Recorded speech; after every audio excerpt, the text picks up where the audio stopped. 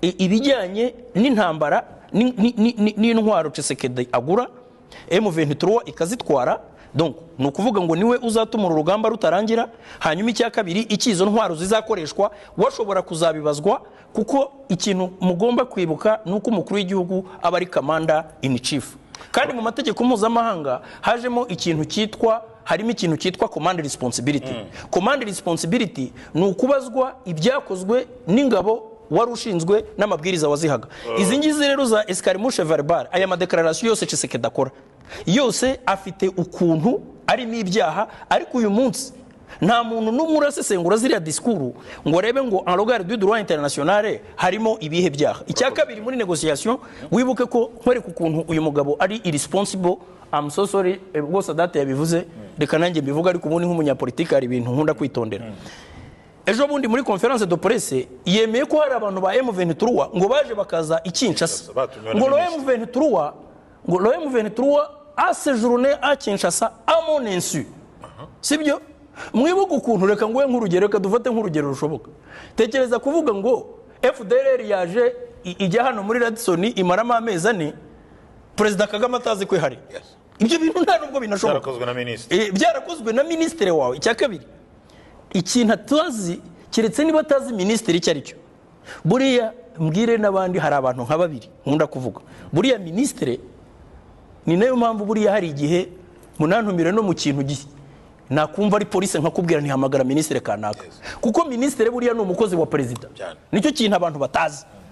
Jamais mbere buriya minisitiri ikintu yakorera abaturage. Icyo ushaka kuvuga ni uko atari kubatumira kinshasa perezida kisekedi atabizi ntibishoboka ngo noneho muri conference de presse yarabihakanye yaravuze ngo icyo nzi ngo babonanye n'uwari minisitiri wa interiyeri ngo ni nawe wanabimbwiye kwanza ariko ngo ibyo bintu ntabwo nari mbizi. Mumbwire umukuru w'igihugu ushobora gukora dekararasiyo dekararasiyo ibintu nk'ibyo ariko byanagenze. Sinabivuga ngaho, mu itangazamakuru. Buriya hari umuntu uzi ibintu bya kongo wambwiye ngo bariya abajenerali bose ngo buriya nta muntu generali wo muri kongo ujya ujya muri ritayamenti ngo barabihorera gusa iyo ubonye bahagaritse kuguhemba uhita ushyiraho umutwe w'inyeshyamba noneho nawe ukawukontorora. Iyi mitwe yose rero niyo mpamvu abajenerali bahoze kwa Mombutu abahoze muri eh, AFDR Alliance de Forces Democratiques pour la Libération du Congo eh, aba aba aba aba mayimayi aba aba abantu bahoze muri Zaituri aba aba bantu bose bose bo- bo- wazarendo. Do ugafata interahamwe buriya na zo ngo zifite territory. Abarundi nabo baragiye hari ba bandi ba Red Tabara nabo baba bavuga hari EDF naru iri hejuru hariya muri za za Bunia Beni. za, za Bunia na Beni. Donc ni ukuvuga ngo icyo gihugu cy'isibaniro ni igihugu kimeze nk'urugo rutagira nyirarwo.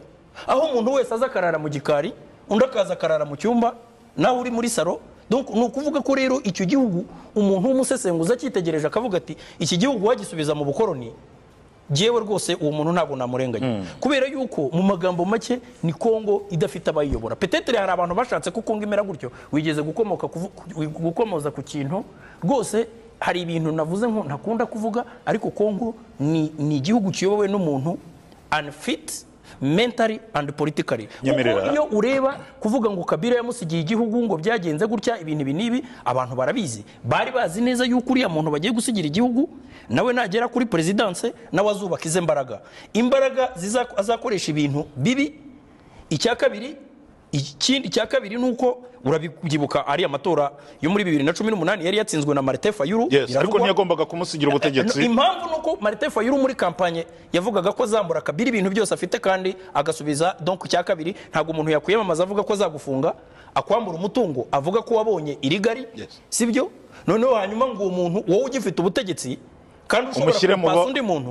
Ngo ubushyire mu maboko y'uwo muntu. Nyemerera, tugane ku musozo. Ntekereza yuko rero abantu bashobora kuba barakoze eh, eh, je dirais, eh, imibare mibi muri politiki bakazana umuntu sibyo Utari Uta- fit, u- nk'uko abivuze. utari fiti ventura bwagiye muri kariya gace gusahura amabuye hariya ni iwabo ni iwacu baramutse bashaka gufata rukaya tumva ah- atariho hakomeye kurusha ahandi hose hari hakomeye bafashe ahubwo ni cyo kintu iyo bavuze ku nyungu niba urebye neza amerika ubwayo yavuze ari uko goma bayegereye igihe barimo bakubita za mbaya za rucuru za masisi muri ibyo bice byose kandi ibi ni ibice binini cyane eh, ariko amerika ntabwo yigeze ivuga.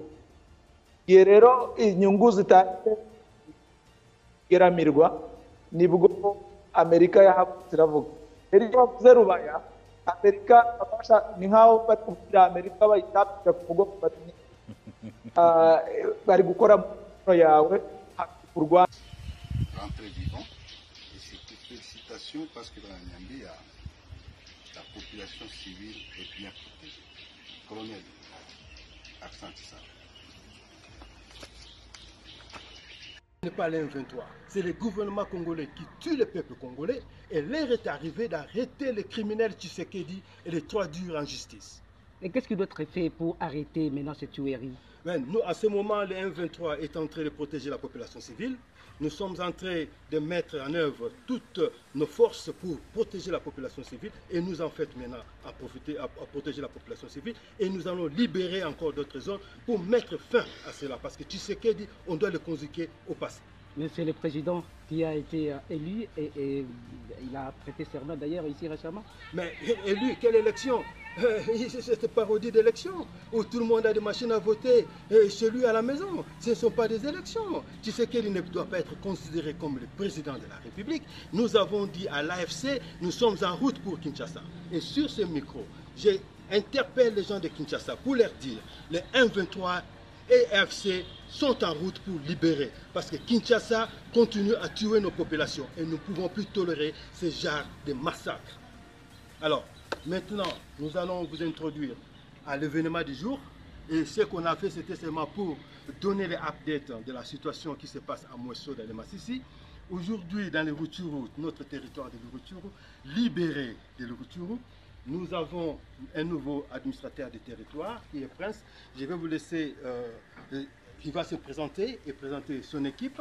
Et moi, je vous dis au revoir parce que je dois rentrer à Mouesso. Nous sommes venus chercher le matériel de première nécessité pour des victimes qui, sont, euh, qui dorment à la belle étoile, qui ont perdu leur maison.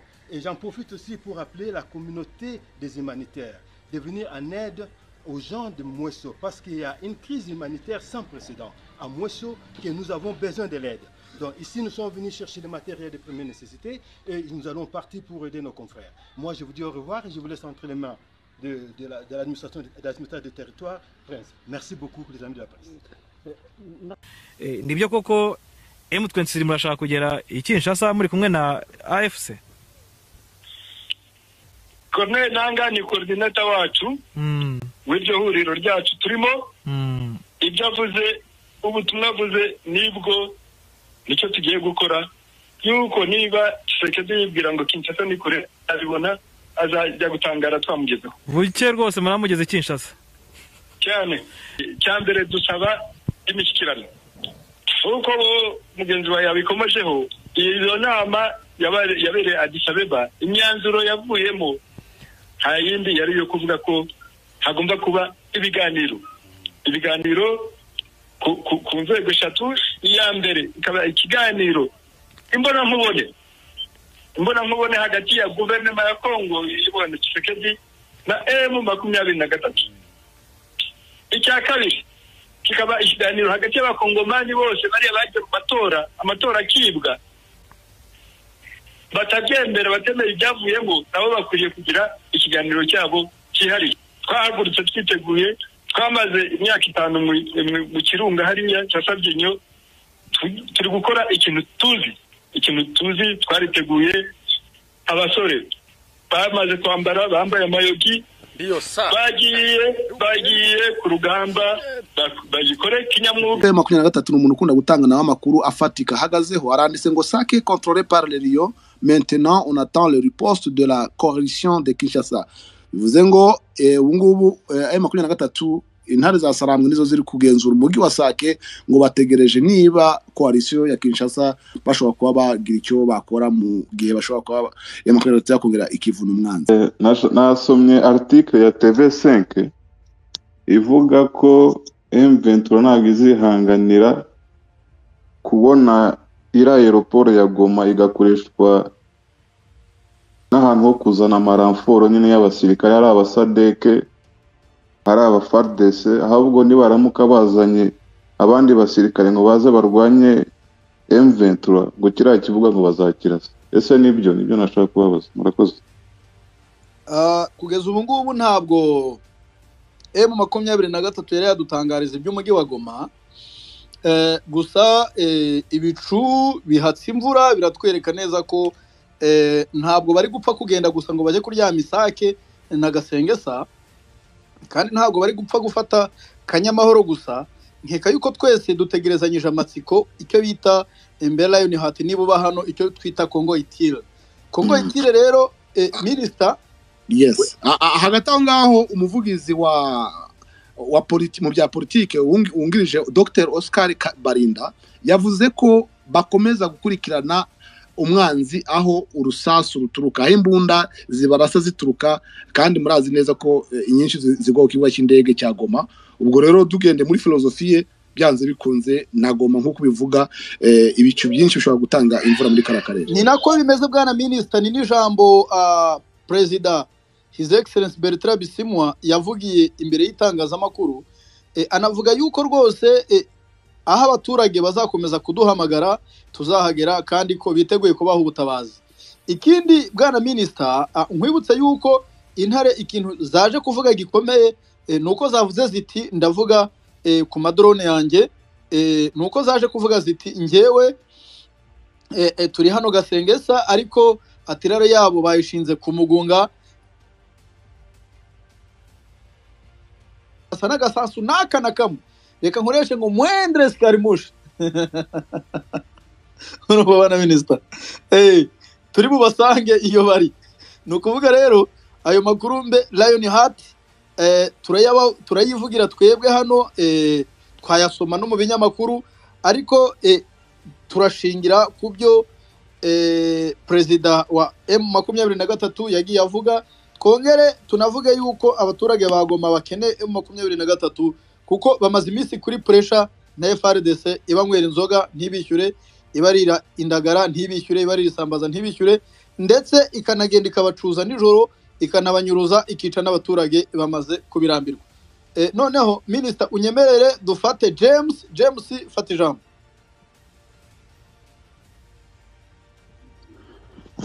Murakoze ah, felicitasiyo kwanza ku ntare za sarambwe ku kazi katoroshye katoroshye na gatoya zakoze Ah, biradushimisha cyane kumva ko ah, abana bacu ari aho bari kugera. Ariko nanone bikongera bikababaza kubera ko n'abasore b'abakongomani bari kugwa hariya bene wacu bakabaye ari imbaraga z'igihugu zubaka igihugu eh, ariko kubera ubuyobozi bubi kubera politike mbi kubera politike yo gucamwa ibice no kwanga ah, abenegihugu bamwe abenegihugu tugasubiranamo abaturanyi tukarasana ah, igihugu cyacu kikaba kiri gutakaza imbaraga mu buryo bumwe cyangwa ubundi. Eh, icyo nashishikariza abakongomani eh, ntabwo ari uko twajya tuza hano tuvuga ngo igice kimwe cyatsinze ikindi cyatsinze ahubwo ni uko nasaba ah, bene wacu b'abakongomani aba bita abatutsi cyangwa se abanyarwanda ko ah, bakwiyambura umwambaro bambitswe na fdr hanyuma bakaza tugafatanya tugakuraho leta mbi iri kuducamo ibice iri kudushyira ku ruhande kandi turi abenegihugu Ah, tugafatanya tugahunga ubumwe tuga- tugahuza imbaraga hanyuma eh, tukubaka igihugu cyacu. Eh, niyo mesaje nashakaga gutanga gusa hano mu kibaya mwa bagabo mwe muri kuvuga isake. Hano mu kibaya hejuru ya ya ya ya kanyamahoro buriya. bitubwira ahubwo tubwira ayo ngayo ko ubundi wari ugiye mu mvugo ya politike gusa politike gusa twebwe hano ntabwo Ye- twebwe hano ntabwo dukeneye nabwo tugatanga Mu- mumbabarire kubera ko impamvu Musorera, nari nzi ko ndibivuga arangije. Nari nzi ko ndibivuga arangije. Yego muyi nabyumvise. Nabyumvise. Haruguru hano ya kanyamahoro ah, ahantu hari defense mu by'ukuri yari itubangamiye. Iyo defense yari abana b'imfubyi ba koroneri ruhinda club niyo yonyine yari igikamba ariko ni nk'imwe yavuye gatsiro ejo bundi. Ewana iyo defense mu by'ukuri yari hejuru twebwe twari ku mabere y'inkumi abantu bahazi aka gace ka kibaya eh, ko mu kibaya ka ruhunda. Tugeze kuri rute ya kabiri kuri nimero ya kabiri umuhanda ni- niko bajya babyita muri congo. So iyo defense rero yari iri hejuru ya kanyamahoro hejuru y'ikirunga cya nyamuragira inyuma ho gatoya ni nk'aho yari iri hejuru yacu. Uko twashakaga kwa devasinga dukura mu kanyamahoro ubu kanyamahoro ntabwo FRDC igikambika muri kanyamahoro abantu babyumve. Hariya hantu yegereye u Rwanda ni FDLR iba ihari yonyine. Noneho haje n'abarundi haza kuzaho na- n'abatanzaniya kuko baragabanye igice kimwe cy'abatanzaniya kijya mu gice cya sake gufatanya n'aba South Africa ah, ikindi kiza hano hejuru mu kibaya. Mu gitondo kare iriya defense twayikubise mu minota itarenga nko mu- isaha gutyo FDLR yari yari yari ikinagiye ivuyemo twakuye ibikoresho byinshi twakuye ibikoresho byinshi kabisa kandi n'amakuru meza nta n'umwana twatakarije n'umwe nta n'uwakomeretse yewe kuko ukuntu twari twayipangiye zari difite zikurikiranye twazirisiye icyarimwe habura undi musada tuyikuramo iyo uri kuri iyo defense rero kanyamahoro ntabwo igomba kubamo. Ntabwo igomba kubamo abazi kiriya kibaya. Iyo uvuye kanyamahoro wegera hirya gatoya kuva kanyamahoro kugera hariya ku muja he- hafi cyangwa kwa mama olive kamvuge gutyo. Ni ahantu hafi. Kandi ntabwo umuntu yaba ari kwa mama olive uri cyangwa hamwe ba- basizaga ibibanza byakira bazakira papa ku mashuri hirya. Ntabwo umuntu yaba ari kanyamahoro ngo ube uri hariya. Bishoboke.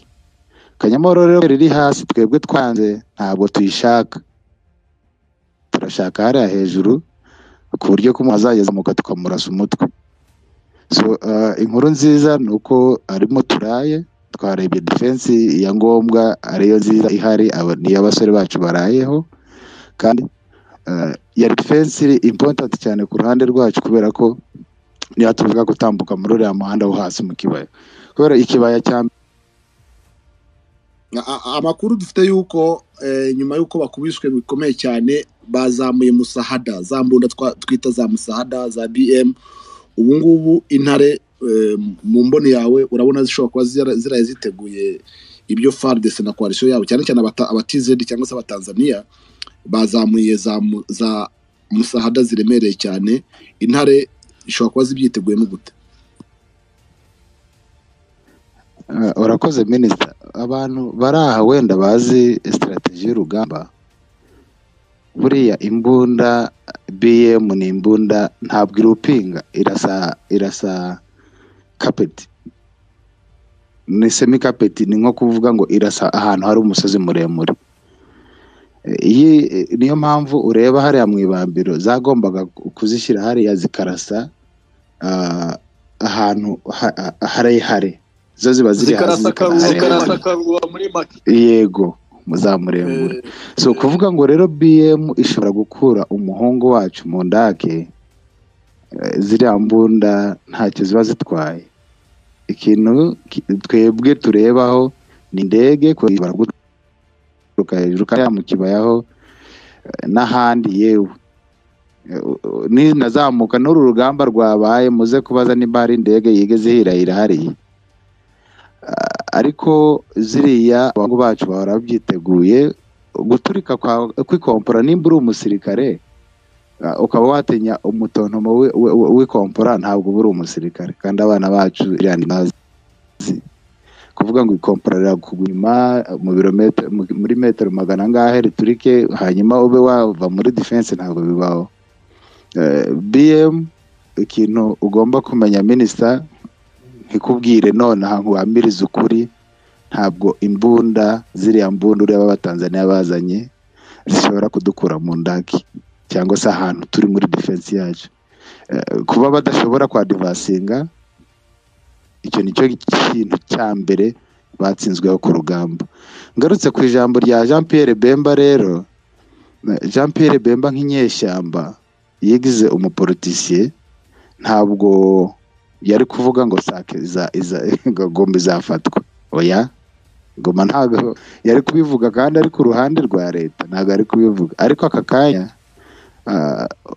FRDC iri gucuranga imirya itandukanye. Mu kanya iracuranga soprano mu kanya igacuranga ama- amanota atandukanye kabisa.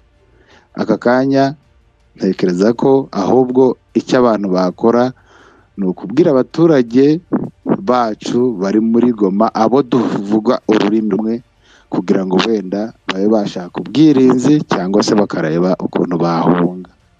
Kubera ko iyo batakaje bariya bagabo bihimurira ku baturage. Rero ikindi nakubwira mu muri akise ya sake kuba twageze hariya ntuza aha. Ni uko rwose. Iyo uhuye n'umuntu mu ikinyarwanda iyo waba umuzi urumva baba batakaje cyane. Baba bapfushije abasore benshi pe. Baba bapfushije abasore benshi ku buryo ki ujya unabireba ukavuga se aba ni abasirikare cyangwa biba byagenze bite. Rero ah, kuba twegereye hariya hafi no ku mugunga ni ukuvuga ngo yaba indege yaba ikompora ntabwo rishobora kurasa muri ntuza ya sake twe turashaka byibuze ba divasi aho ngaho ni ho cyangwa umusaza ari buze kureba ako ibisirikare bitandukanye. Hariya ni mu rugo. Hariya ni mu rugo. So ntarambiranye eh, intsinzi kuri twese intsinzi kuri twese ariko hari intsinzi nshaka kuzabyina mu minsi iza muhire umunsi nzaba mpagaze bweramana cyangwa usumba hejuru. Ndi kureba minova hasi cyangwa se nicaye muri minova ndi kureba bukavu hakurya. Aho ngaho nzaza hano rwose ndi kubyina ikigembe. murakoze imana ibaha umugisha kandi abantu bari aha ba mugabe. Mugabe eh, ntukajye ukoresha ijwi ryawe gusa ari uko muri gukora analize. Nawe ujye uza twishimane nawe uri umunyarwanda kuko nawe ntabwo wagera hariya ngo babure kukurya murakoze. James urakoze cyane. Kandi usoje neza kuko akantu warakubisemo gasa na expression politique ntabwo nagakunze Eh, ariko kuba hano twebwe twivugira twivugira nk'abaturage bifitiye morale. twebwe hano tuvuga ko tu- turi abakunzi ba makumyabiri na gatatu. Turi abakunzi bavuga ikinyarwanda rwose n'inshuti zabo ubwo rero turaza tukavuga ibyacu tukavuga ibyacu nta guca ku ruhande nta politike twebwe tuza kubaha ibyabo eh, nk'uko tuba twabiteguye.